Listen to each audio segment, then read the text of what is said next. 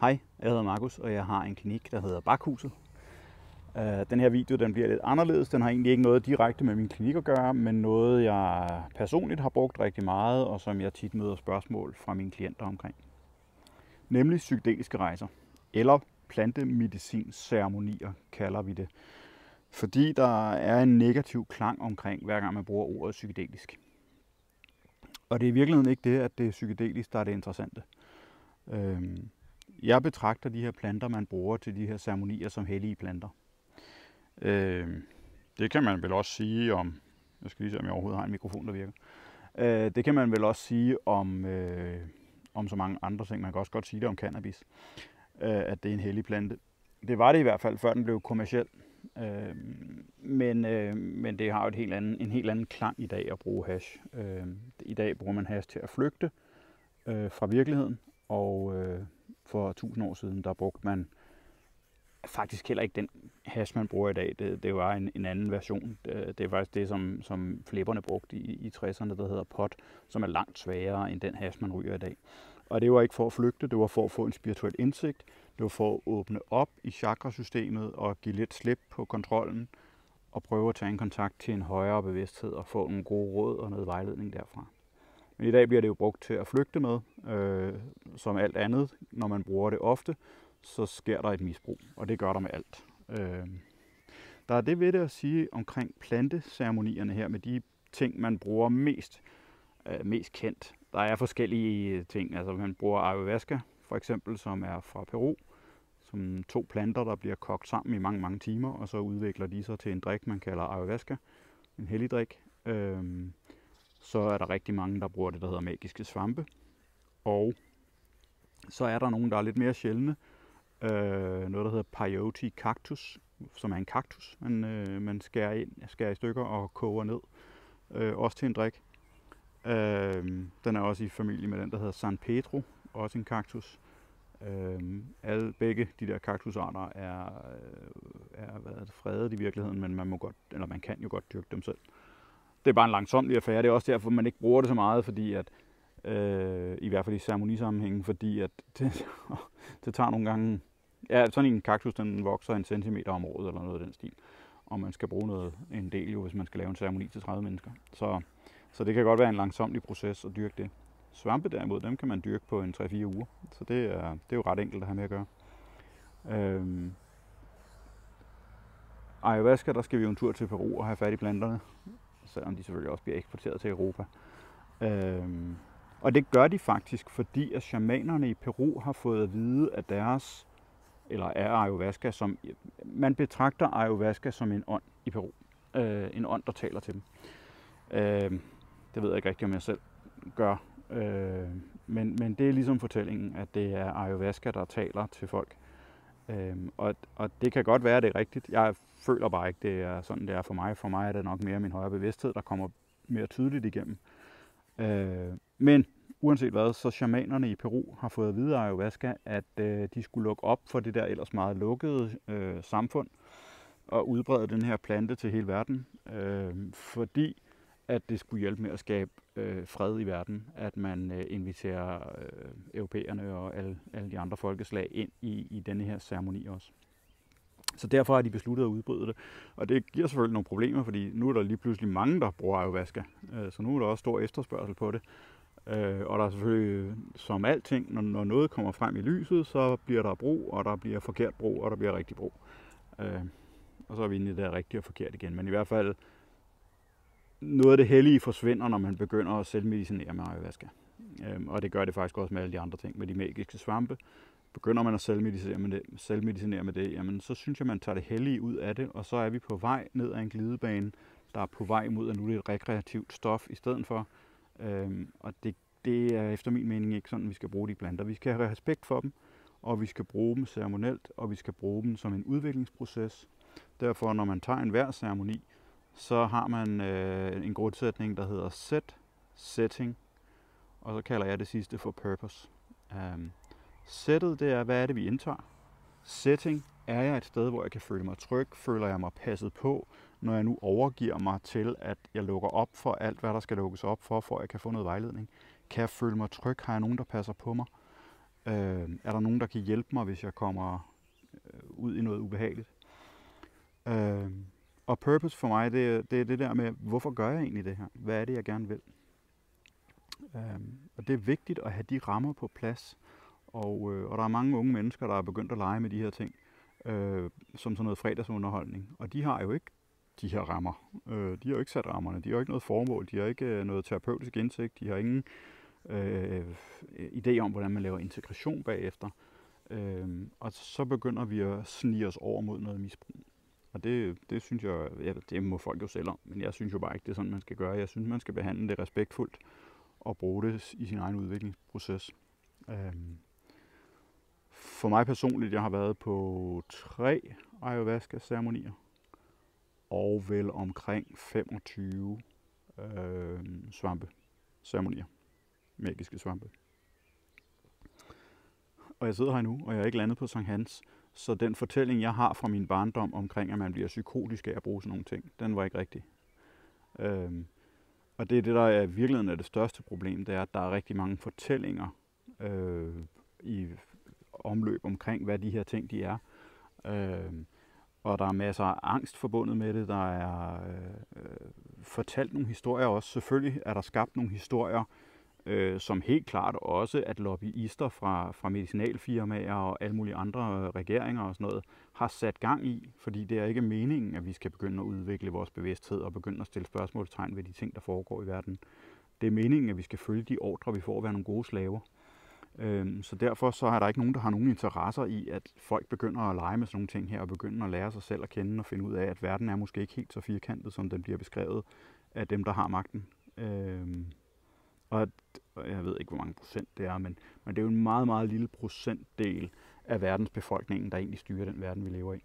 Øhm, så derfor er det jo lidt, lidt interessant, at folk de må ikke begynde at gøre det her, begynde at stille spørgsmålstegn ved dem, der kommer med ordrene om, hvordan man skal opføre sig og hvordan samfundet skal fungere. Det må man ikke begynde at stille spørgsmålstegn ved. Så derfor er der nogen, der har nogle meget kraftige interesser i at forbyde de her stoffer øh, og fortælle for, historier om, hvor farlige de er. Fordi hvis folk tror på, at de er farlige, så begynder de ikke at lege med det selv. Øhm, og så er der jo heldigvis nogle shamaner og nogle andre, der har været dygtige til at guide os ind i det og, og, og fået fået skabt en tryg ramme, og der er en masse mennesker, der er ved at få nogle rigtig gode oplevelser med det her, der er ved at vågne op og finde ud af, wow, verden er noget større, end jeg troede, den var, og jeg er noget større, end jeg troede, jeg var. Det der med at have dårlig selvværd og mangel på selvkærlighed, gud, det er en historie, jeg er blevet fortalt. Det er jo helt skørt. I virkeligheden er jeg jo meget større, end jeg selv troede, jeg var. Øhm, og det er det, de her rejser, de kan gøre. Så det er lidt synd, at der er lavet de her fortællinger omkring, øh, hvor farligt det er at bruge de her ting. Selvfølgelig alt er farligt. Øh, altså, det, biler er også farlige. Hvis man ikke har lært at køre bil, så er biler farlige. Og det er også derfor, det er så vigtigt, at, at dem, der leder de her ceremonier, det er professionelle mennesker, der har terapeutisk uddannelse, der forstår, hvad for nogle doser arbejder vi med, hvordan er ceremoniens proces, hvordan integrerer vi bagefter, øh, hvordan skaber vi trygge rammer. Altså, det, det, er, det, det er selvfølgelig ikke legetøj. Øh, men det er der jo ingenting, der er. Altså alt kan jo misbruges. Alkohol er også dødsens farligt, hvis man ikke ved, hvad det er, man laver. Øhm, øh, receptudskrevet medicin, jamen vi udskriver det i håb om, at de mennesker, der indtager medicinen, de følger anbefalingerne. Men hvis ikke de gør, så er det også dødsens farligt. Altså, hvis du har fået en eller anden smertestillende pille, og du har fået at vide, at du må maks tage tre døgnet, og du tager 12, så sætter din lever ud, og så dør du. Så det er pissefarligt. Øh, og på samme måde er det med de her planteceremonier. Det skal behandles respektfuldt. De mennesker, der arbejder med det, skal vide, hvad de laver. Øh, men er de på plads, de regler? Er, er, er rammerne på plads? Er det et seriøst sted, man, man får den her ceremoni? Er der nogle seriøse mennesker bag det, der, der kan guide og hjælpe og integrere? Og selv har taget turen det synes jeg er vigtigt. Der er en diskussion lige nu, fordi at man er faktisk ved at lukke lidt op for det i psykiatrien, at øh, man måske skulle begynde at overveje, øh, at, øh, at tage det ind i psykiatrien. Men der er jo en overvejelse, der hedder, skal dem, der sidder og guider, skal de så selv have gjort det? Skal de have taget rejsen? Og det er faktisk nogen, der mener, det skal de ikke. De kan sagtens være guider uden selv at have taget rejsen. Og det mener jeg jo ikke. Jeg mener jo ikke, man kan guide nogen seriøst, hvis man ikke ved, øh, hvad det, hvad det er, man oplever. hvad det er, man går igennem. Så, så jeg synes, det er vigtigt, at man selv har taget rejsen, og man ved, hvad det er, man sidder og laver. Meget vigtigt. Og så er det vigtigt med den her respekt omkring det. Men hvis alt det er på plads, så lover jeg, at hvis man har taget sådan en ceremoni det rigtige sted, den rigtige guide har været på, øh, og man har fået den rigtige setting, så lover jeg, at verden er ikke den samme bagefter, som da man startede på ceremonien. Man har en helt anden oplevelse af livet bagefter. Og det er det, det kan. Det kan lukke den der kritiske sans, der hele tiden vil have forklaringer på alting. Øh, luk den ned i nogle timer. Få adgang til din sjæl, til dine følelser, til hvad er det, der er forklaringen på alt det, du har oplevet. Øh, og, og nogle gange har jeg jo personligt nogle intentioner. Og vi kan da snakke lidt om intentioner. Man skal have nogle intentioner. Hvorfor er det, jeg gør det? Det var det, jeg kaldte purpose. Hvorfor er det, jeg gør det? Og i starten var mine in, in, uh, intentioner vanvittigt egoistiske. Altså, det var bedre selvværd, det var øh, øh, øh, noget omkring seksualitet, det var øh, selvkærlighed, det var øh, angst for at blive afvist, det var øh, ja, alle de der personlige ting, kan man sige. Og det var det jo i mange af de første rejser, der var det jo det, det handlede om. Øh, og så efterhånden, når man har taget rigtig, rigtig mange, og jeg har blevet, og det er ikke afhængigt, det er ikke afhængigt af, at jeg har taget mange rejser.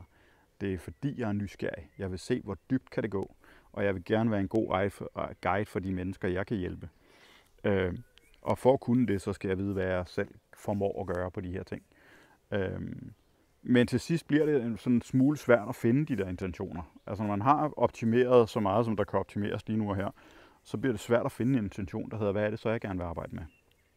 Og i mange rejser har jeg også arbejdet med at udvide mit chakrasystem og gøre det mere balanceret og fået ryddet ud i traumerne i chakrasystemerne selvfølgelig.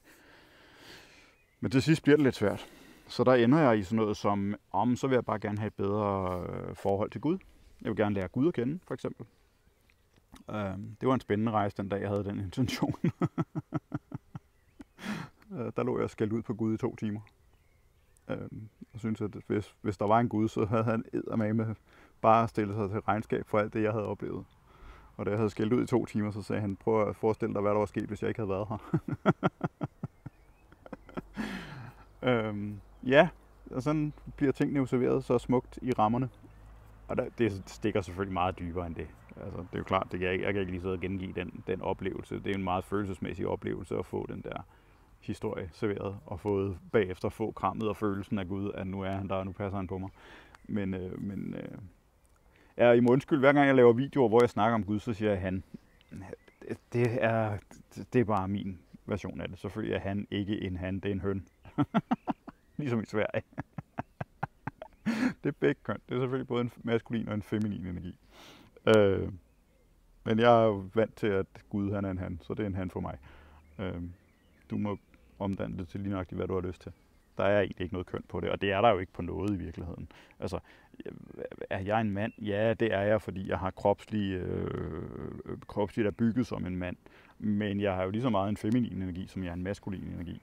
Øh, procentforholdene er måske ikke lige store, men, men der er jo lige så meget, eller der er jo også en feminin energi i mig, så, så kønnet er jo i virkeligheden bare defineret af udseendet på kroppen.